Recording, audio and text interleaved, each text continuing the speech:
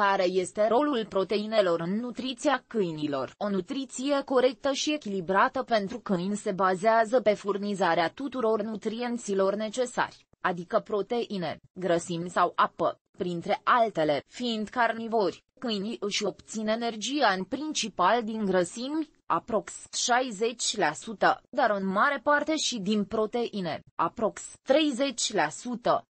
Proteinele reprezintă principalul element constitutiv al organismelor. Aprovizionarea sa cu alimente are un impact decisiv asupra calității vieții și a funcțiilor. Proteinele au multe funcții importante care reprezintă pilonul creșterii și dezvoltării organismelor. Familiarizarea cu acestea și cu elementele de bază vă va permite să gestionați mai conștient alimentația animalului dumneavoastră de companie ținând cont de nevoile sale nutriționale. Câteva dintre funcțiile proteinelor la câini construirea țesuturilor corporale și a hormonilor și enzimelor, de exemplu colagen, elastină reglarea proceselor metabolice menținerea homeostaziei organismului mișcării slash contracții musculare stocarea și transportul de componente și substanțe, de exemplu hemoglobina imunologic cum sunt construite proteinele, cum afectează proteinele organismul câinelui. Proteinele sunt alcătuite dintr-o secvență de aminoacizi, iar aceștia determină calitatea proteinei. Pentru a se menține în formă și sănătoși, câinii au nevoie de un aport alimentar de aminoacizi esențiali, adică aminoacizi pe care organismul lor nu îi poate produce singur. Aceștia includ 10 aminoacizi. Lizină, stimulează creșterea oaselor și secreția de sucuri digestive metionină, precursor pentru taurină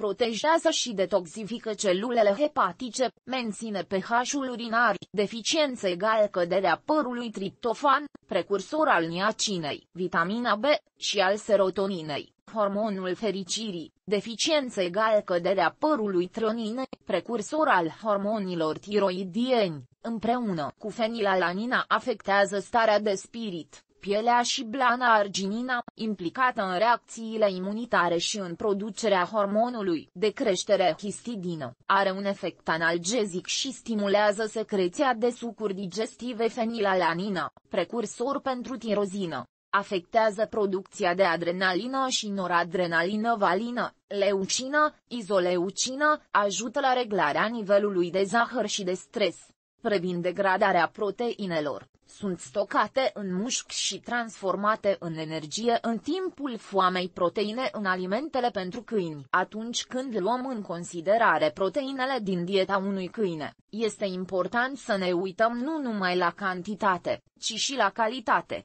care este legată de tipul de proteină din hrana servită câinelui. Există o distinție între vegetale și animale. Fiecare are o digestibilitate și o compoziție diferită de aminoacizi. Proteinele animale sunt cele mai potrivite pentru carnivore și, în comparație cu cele vegetale, sunt de până la șase ori mai bine digerate de organismul lor. Cu toate acestea, deși carnea este cea mai bună sursă de proteine pentru câini, fiecare specie de carne are un conținut diferit de proteine și nu va furniza toți aminoacizii din dieta unui câine pe termen lung. Prin urmare, este important să se introducă varietate, ceea ce este deosebit de important atunci când se hrănește cu hrană de slabă calitate sau nu se echilibrează mesele. Bunătățile cu conținut ridicat de carne sunt ideale ca varietate sănătoasă. Digestibilitatea alimentelor față de proteinele din hrana pentru pentru câini. Alimentele și recompensele de înaltă calitate au o digestibilitate a proteinelor de 80 la 90%, în timp ce produsele mai slabe, cu un conținut ridicat de plante și cereale, adesea nu ajung nici măcar la 70%.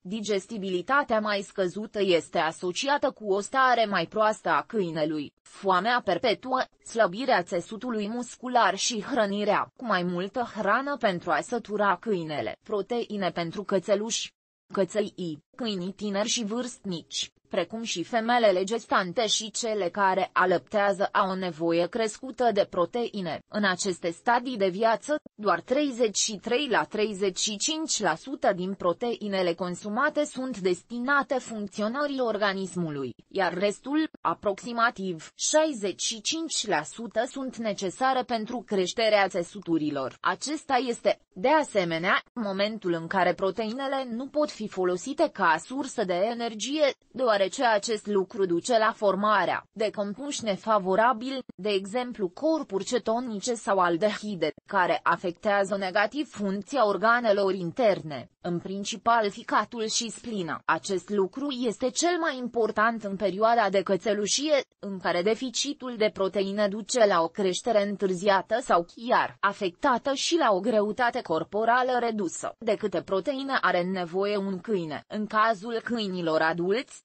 Proteinele furnizate organismului sunt destinate în primul rând satisfacerii cerințelor vitale pentru viață. Aceasta include schimbul de aminoacizi, creșterea de noi celule, construirea de enzime și hormoni și întărirea metabolismului celular. Necesarul de subzistență este diferit la fiecare individ în parte. Ea variază în funcție de mărimea câinelui, de activitatea sa, de starea de sănătate și de mulți alți factori. În medie, se poate presupune că animalele adulte au nevoie de 2,5 g de proteine pe kilogram de greutate corporală, cel puțin 18% în substanța uscată a hranei. Aceste cifre se referă la proteine animale de înaltă calitate, cu o biodisponibilitate apropiată de 100%, pe măsură ce digestibilitatea proteinelor scade proteine de calitate inferioară sau vegetale, numărul de grame de proteine pe care trebuie să le furnizăm câinelui crește, până la 7 g/kg de greutate corporală, la căței și câini în creștere. Conținutul de proteine din hrană nu trebuie să fie mai mic de 22%,